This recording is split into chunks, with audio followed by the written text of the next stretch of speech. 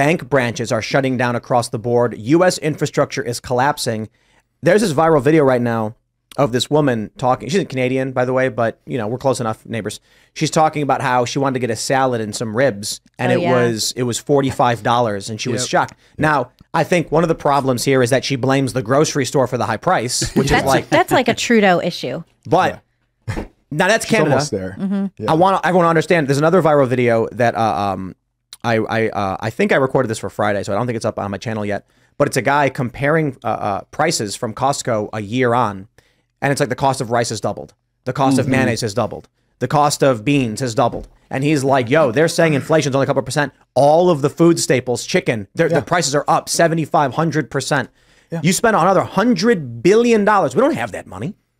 Well, and it's not just printing off more money, which we've been consistently doing through the Inflation Reduction Act and all the other trillions of dollars that we've been spending um, because of Joe Biden and the Democrats and what they've been doing in Congress.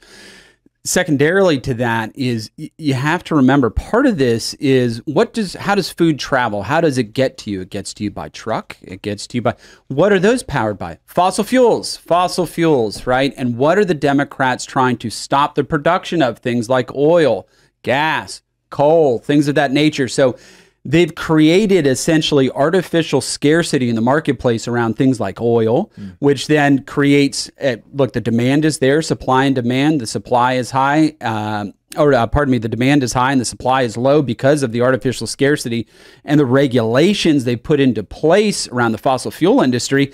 So to be able to transport those items, it's a pass-through cost. It's going to go down to the consumer. It's going to always hit the consumer.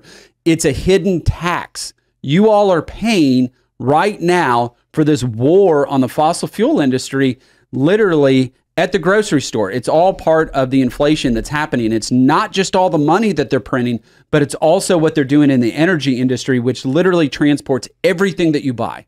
When I was Well, in Cal- oh sorry, when I was in California, it was seven dollars for a gallon of unleaded gas. And it all started when Biden shut down the Keystone Pipeline. Yes. Yeah, Yes. you can Shot actually right you can actually look at the moment when Biden is inaugurated, not even the election, and you can see like an inversion in wages and inflation. Mm-hmm. And people are like, "Oh, it's not Joe Biden's fault; it's Trump's fault because they're his policies rolling into effect." It's like, no, no, no, no. You can actually, I think it was like Wall Street Journal showed this graph, and it's like it just flips as soon as he starts signing these ex- executive orders.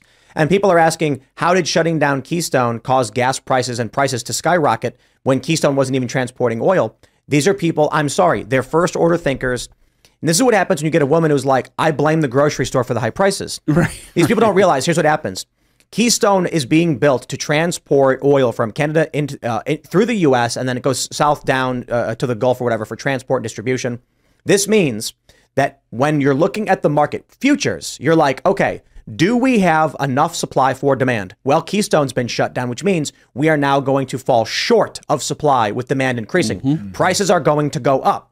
Then what happens? People are buying, saying we better buy now, which causes prices to drive straight up. Yes. Now your gas costs more money because Joe Biden is negatively impacting the entire uh, industry and infrastructure. And then we tapped the Strategic Petroleum Reserve, Drained it. drained that. So stupid. Yeah, we drained that one. It's like, I, I, I, just, I remember look, watching that happen, and I was just like, "Stop doing, stop doing that! and stop now, it!" And, and and and I just want to point this all out and loop it all back into a nice little bow. All of the things Joe Biden did have put us on the path for total annihilation if it comes to uh, international warfare.